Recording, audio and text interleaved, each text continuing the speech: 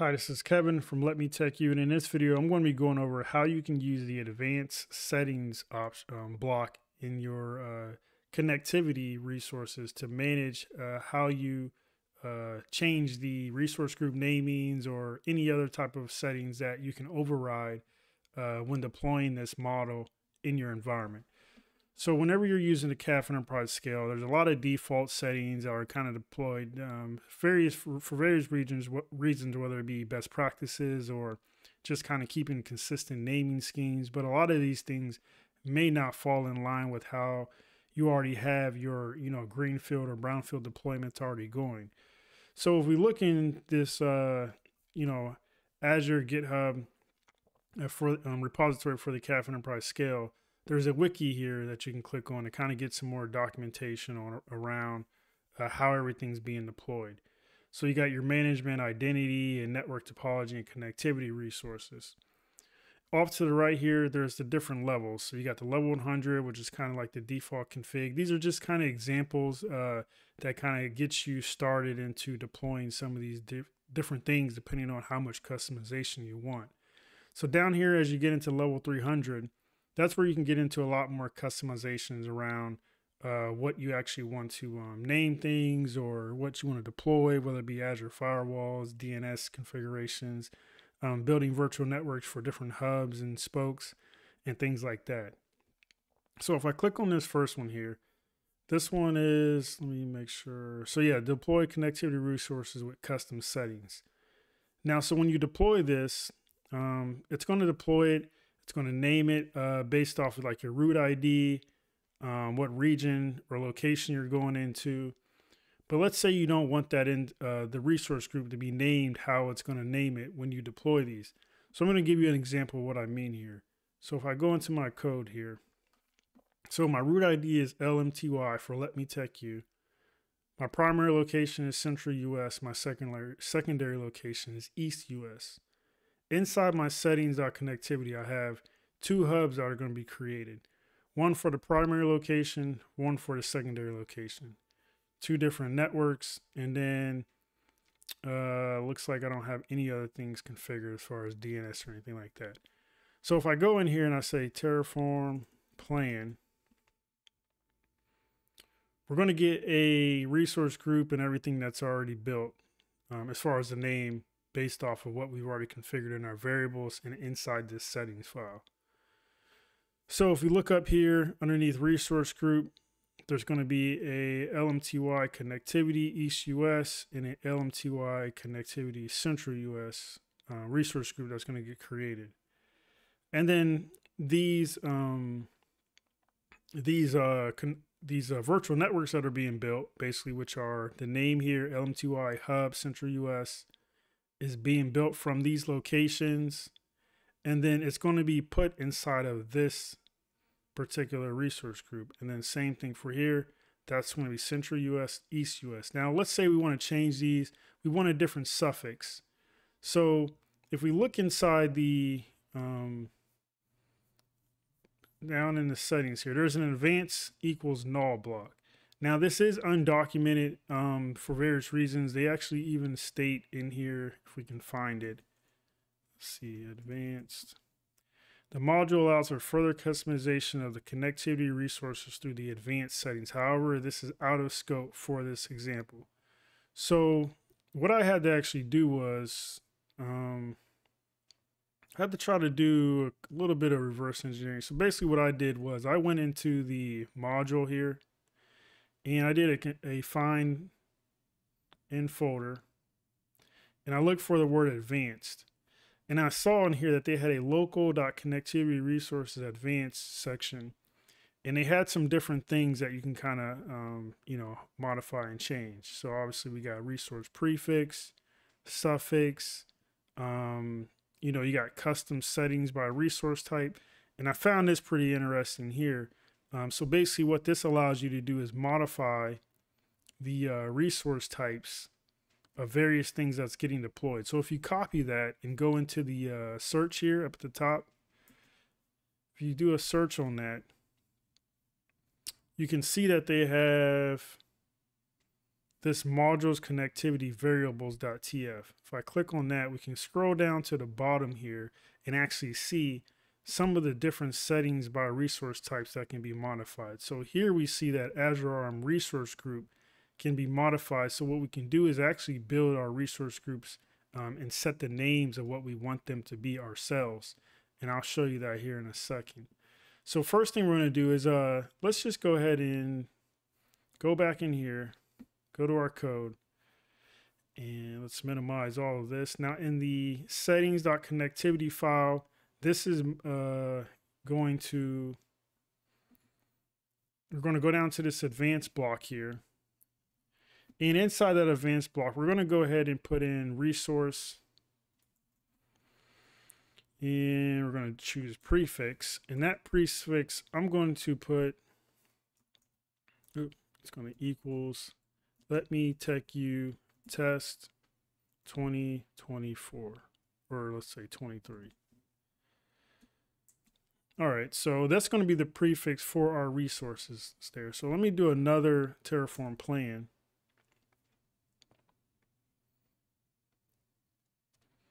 And as we see here, we should see that LMTY test 2024. Let's say.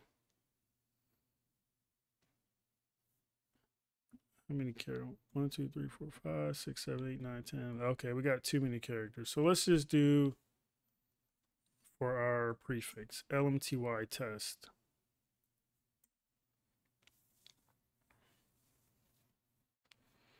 And now that should be pre-pinned to the resources that's getting deployed here. So now we see the resource group name is actually going to be LMTY test. The virtual network name is going to be LMTY test.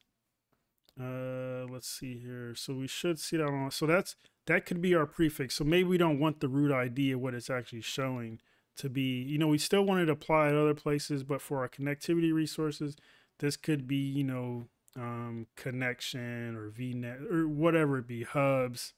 So that's just one way to do that. If you wanted to um, change the suffix, you know, same thing. So, so suffix can equal, let's say 2024. Do another Terraform plan. And then what we can get into is actually um, modifying the custom settings by resource type. So as we can see, now we got 2024 applied to those virtual network names and also the resource group names. But then like if we go, let me see, did I have that actually up? Okay, so the different resource. So these are the different resource types that can be modified. So when it says modified, if you actually go to Azure RM resource group and go to the Terraform page, once this comes up here. You give that some time. The thing, there we go.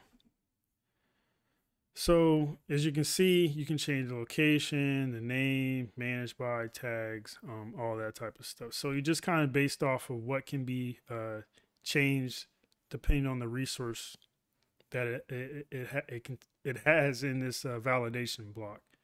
So I'm going to go ahead and change the resource group and I want to change the name of my of my two hubs to be uh, different. So I'm actually going to get rid of this here. So I don't want to put a prefix. So what I got to do is I'm going to do a custom underscore settings by resource type. And then that's going to equal, so this is going to be an object. And the object is going to be Azure RM underscore resource group.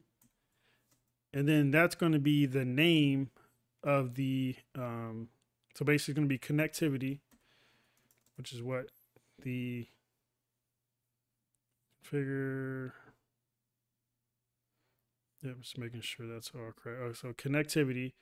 And then we need to do this for each particular um, hub that's being, being deployed. So the primary location, which we'll take here, it's going to be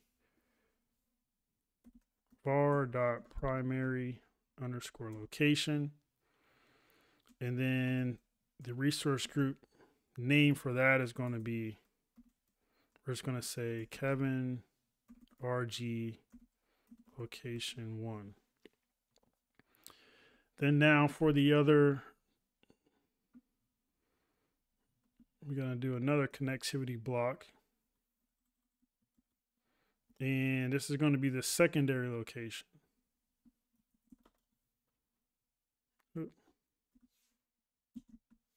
Secondary location. And this is going to be Kevin-RG2. So instead of using the defaults that come with this, uh, you can basically kind of set this to be even variables to be passed through um, and things like that. So now for these resource groups that's getting built up here, where it says the LMTY test, it should be RG location one, RG location two.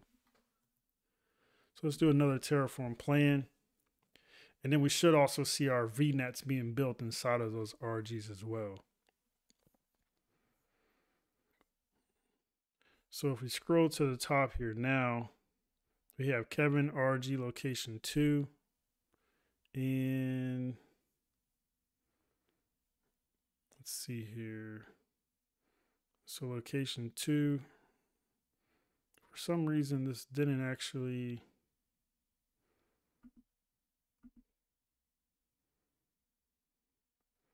connectivity equals let's then take the second one here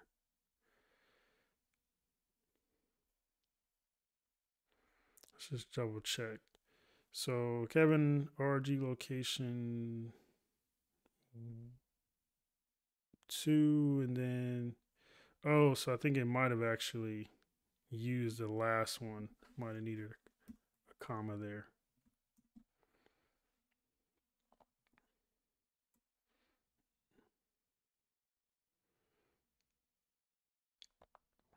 So let's see if this builds the uh, builds both of those here now.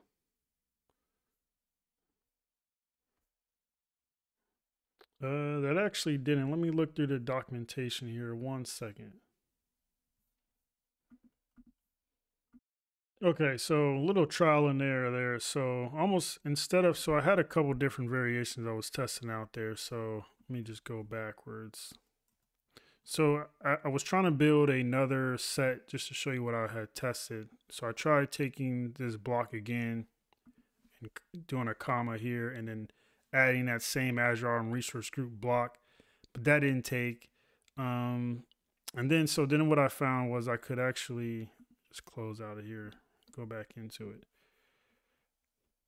So instead, so almost creating almost like a list of objects here of the name. So I'm going connectivity, then the primary location's name is going to be this, and then connectivity's secondary location's name is going to be here.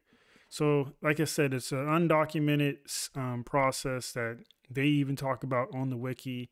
So I would, you know, kind of caution of, you know, making too many um, changes in the advanced section uh, something with the resource groups, you know, probably not too bad to do.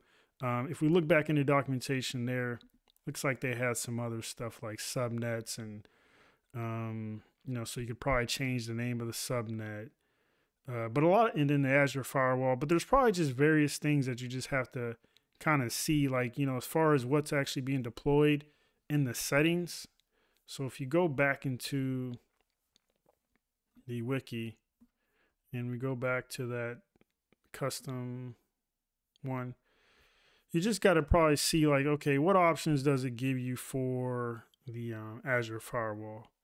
You know, can you if there's if it's missing something in here that the actual Terraform provider itself has, that's where maybe the advanced section would probably come into. But the resource group one is a big one because a lot of people want to kind of keep resource group name schemes, um, naming conventions uh, and certain resources prefixed with things that kind of align with their uh, adoption of how they are already running in the cloud. So again, that's just a nice, easy way to kind of get. And if, and I did run that. So if we look here now, it's actually showing my Kevin RG location two here, and also my Kevin RG location one for the two separate VNets that's going to get deployed. So again, if you have any questions in regards to how that kind of, you know, maybe works with other type, some of those other resource types or some errors you might be getting, shoot me a message down below. I can, um, you know, be sure to kind of get back with you. Um, again, like and subscribe. If you have any questions around the uh, cloud adoption framework for Azure or any of the um, cloud um, CAF enterprise scale module settings, um, let me know and I'll be sure to get back with you. Again, thanks for tuning in and hope to see you next time.